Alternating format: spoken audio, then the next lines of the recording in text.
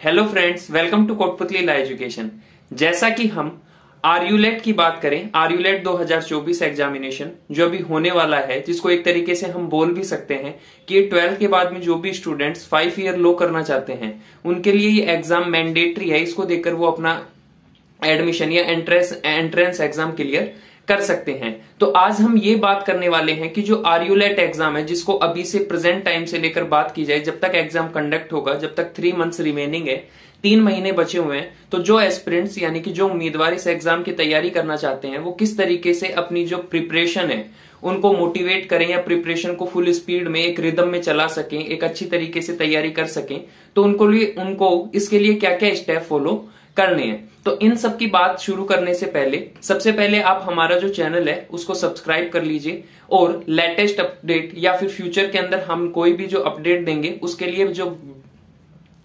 Bell icon है, उसको press कर लीजिए। तो आइए हम शुरुआत करते हैं आर्यूलेट एग्जामिनेशन से, जो कि 2024 में होने वाला है। सबसे पहले तो हम ये देख लेते हैं कि इसका सिलेबस क्या है।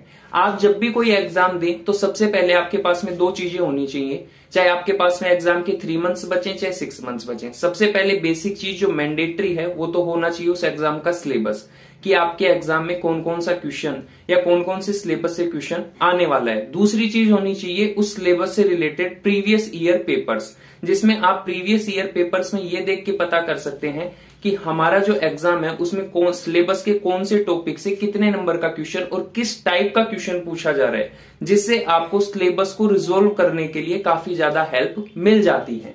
तो सबसे पहले हम बात कर लें सिलेबस की। तो आपका जो सिलेबस है, उसमें एक इंग्लिश का टॉपिक है, या सिलेबस के अंदर जो इंग्लिश का पोर्शन है, वो हंड्रेड नंबर का है।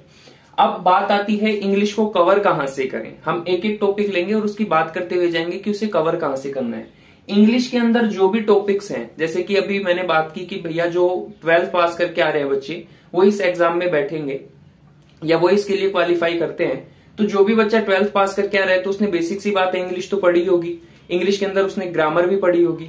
तो ग्रामर से रिलेटेड पोर्शन इंग्लिश के अंदर पूछा जाता है। तो वो अपनी जो रिफ्रेशर है पासबुक वगैरह है, उनसे प्रैक्टिस करते रहें। साथ के साथ में जो टेस्ट सीरीज़ हम प्रोवाइड करवाएँगे, उस टेस्ट सीरीज़ को करके भी वो उसमें अपनी क्या कर सकते हैं मास्टर्स कर सकते हैं। मास्टर्स का मतलब उसको अपने आप को प्रिपेयर कर सकते हैं इंग्लिश के लिए। सेकेंड नंबर पे हम बात करें legal terms Latin maxim constitution basic law बात की जाए, ये दो टॉपिक तो ठीक है, लेकिन बेसिक लॉ में क्या क्या है आईपीसी है इंडियन पिनल कोड है कॉन्ट्रैक्ट है टोल्ट है अदर लॉ हाईलाइटेड पॉइंट्स हैं।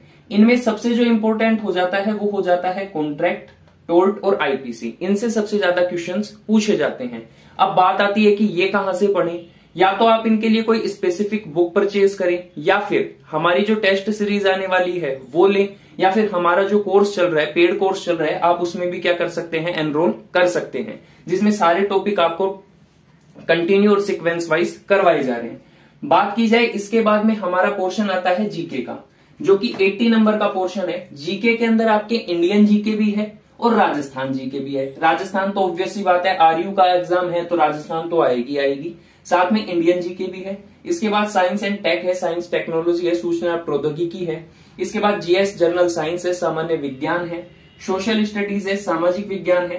तो ये सारा जो पोर्शन है, ये 80 नंबर का है। इसके बाद में quantitative aptitude and logical reasoning ये 20 नंबर का है।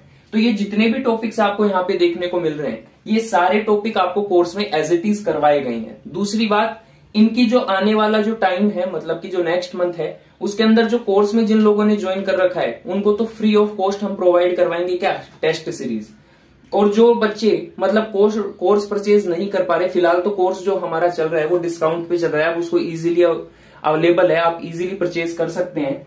लेकिन अगर जो बच्चे कोर्स परचेज करने के लिए अभी फ़िलहाल एलिजिबल नहीं है या किसी प्रकार की कोई प्रॉब्लम्स हैं तो वो हमारी जो फ्यूचर में या नेक्स्ट मंथ में जो टेस्ट सीरीज़ आएँगी, उनको भी परचेज कर सकते हैं। इसके बाद में हम इसमें देखते हैं एग्ज़ाम पैटर्न एग्ज़ाम पैटर्न के अंदर जो क्वेश्चंस हैं वो 150 नंबर के क्वेश्चंस हैं, वो 150 क्वेश्चन है, पर क्वेश्चन टू नंबर्स का है, जो कि 300 मार्क्स के हो जाएँगे, और सारे क्वेश्चन कैसे हैं? Objective type. और अगर बात करूँ मैं एग्ज़ाम मोड तो एग्ज़ाम मोड आपका रहेगा ऑफलाइन, ना कि ऑनलाइन। सीबीटी बेस्ड पेपर नहीं है कंप्यूटर बेस्ड पेपर नहीं है, ऑफलाइन पेपर है। इसके बाद में जो सेकेंड राउंड है, उसमें जीडी और पीआई है ग्रुप डिस्कशन और आपका क्या रहेगा? पर्सनल इंटरव्यू रहेगा, जो कि हंड्रेड नंबर का है। तो ऐसे करके एग्ज़ाम फोर हंड्रेड नंबर का हो जाता है। अब बात करें तैयारी कैसे करें? तैयारी में तीन महीने बच रहे हैं। तीन महीने में सबसे अच्छी चीज़ मैंने बताया कि सबसे पहले तो आपको क्या रखना है? एक तरफ़ तो आपको सिलेबस रखना है, दूसरी साइड प्रीवियस ईयर पेपर रखने हैं। एग्ज़ाम के सिलेबस को और उससे रिलेटेड जो आपके पास में मटेरियल है, उसको इस तरीके से यूज़ करना है। जैसे एक एग्ज़ाम्पल लेते हैं हम। कि जब भी हम किसी शादी में जाते हैं तो क्या करते हैं? हम हमारी शादी में जाते हैं तो पूरा का पूरा अलमारी उठा के कपड़ों की थोड़ी ना लेके जाते हैं। वो चीज़ें लेके जाते हैं सिलेक्टेड मटेरियल लेके जाते हैं, एक या दो जोड़ी कपड़े और एक या दो जोड़ी शूज़ लेके जाते हैं। तो उसी तरीके से तीन महीने में उस सिलेबस में से हमें वो वो चीज़ें या वो वो सिलेक्टिव मटेरियल सिलेक्ट करना है, जो हम एग्ज़ाम के डे ले जा सकें।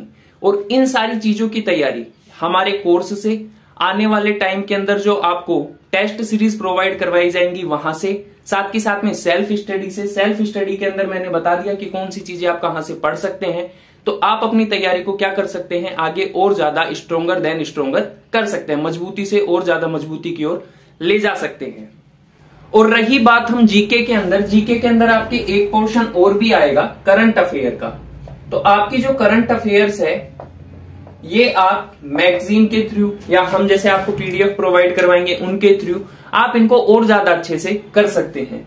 एग्ज़ाम आपका जो है ऑब्जेक्टिव टाइप है रिटर्न बेस या फिर बात करूँ डिस्क्रिप्टिव टाइप पेपर नहीं है, जिसके अंदर आपको बहुत ज़्यादा कुछ लिखना है ऑप्शन टिक करने हैं तो आप इनके लिए जितने पॉसिबल हो सके, उतने ही आप एमसीक्यू लगाइए। जितनी ज़्यादा टेस्ट सीरीज़ दे सके, उतनी ज़्यादा टेस्ट सीरीज़ दीजिए। क्योंकि पढ़ सबको ही लेते हैं, लेकिन टेस्ट जब देते हैं, जब पता चलता है कि हमारी एक्चुअल कंडीशन क्या है एग्ज़ाम के परस्पेक्टिव से तो वो सारी चीज़ें आपको किन से पता चलेंगी? एमसीक्यू से। और प्रीवियस ईयर पेपर सोल्व करना मत भूलना प्रीवियस ईयर से ही पता चलेगा कि क्वेश्चन पैटर्न कैसा आता है। क्योंकि अभी किसी के पास कोई भी क्वेश्चन पैटर्न नहीं है कि कौन सा क्वेश्चन कहाँ से कितना आएगा, कोई भी टीचर आपको नहीं बता सकता। ये सारी चीज़ें कहाँ से पता चलेंगी?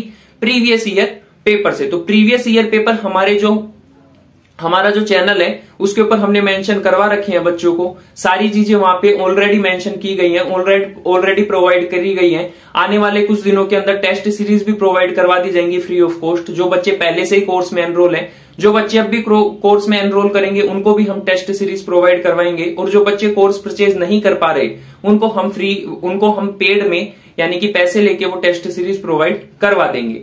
दूसरी बात आने आ, आगे आने वाले टाइम में इसी तरीके का कोई भी लेटेस्ट अपडेट या फिर जुडिशरी या आर यू लेट या फिर किसी भी लॉ से रिलेटेड कोई भी जो अपडेट या न्यूज़ होगी वो आप हमारे चैनल पे फ्री ऑफ़ कॉस्ट प्रोवाइड करवाते हैं हम तो आप उसके लिए हमारा चैनल सब्सक्राइब करना ना भूलें और जो बेल आइकन है उसे प्रेस कर लें। धन्यवाद।